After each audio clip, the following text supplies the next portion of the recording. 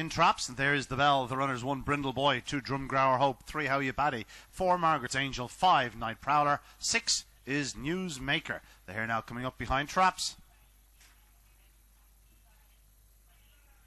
Racing, good start by Trap 1 up the inside, Brindle Boy. Trap 3 seemed to come out its nose, how ye Paddy, and 6 goes to the front. Newsmaker on the corner. Newsmaker with 1, Brindle Boy challenging. Back in third spot now, 5 Knight Prowler takes over from 2 Drumgower Hope, but out front and still, Trap 6 Newsmaker leads from 1 now. Brindle Boy coming back at the leader, and Brindle Boy showing in front once again. Goes on by half length, but still 6 Newsmaker digs deep on the outside, but 1 Brindle Boy has opened up a length and a half lead up the line. Brindle Boy will win by almost two. Two in second.